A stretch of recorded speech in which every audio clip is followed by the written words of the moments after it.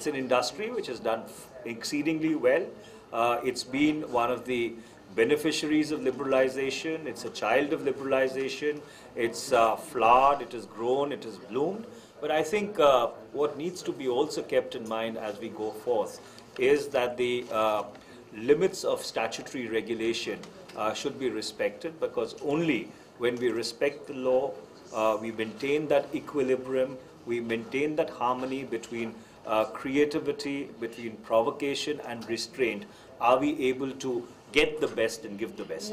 We are on track, we are engaged, we are staying the course, but as I said, that there has to be both a social compact and a legal remit, and the social compact essentially consists of the stakeholders getting everybody on board, and that is why I said that as we go along, it is incumbent upon all stakeholders to the, uh, to the digitization process uh, to see that if at all there are any dissenters, there are any naysayers, or if there are issues, they intercede need to be resolved. So,